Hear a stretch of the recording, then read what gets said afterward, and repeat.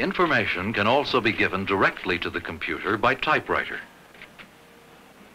or by drawing diagrams with a special pen. The computer converts information from all of these inputs into a form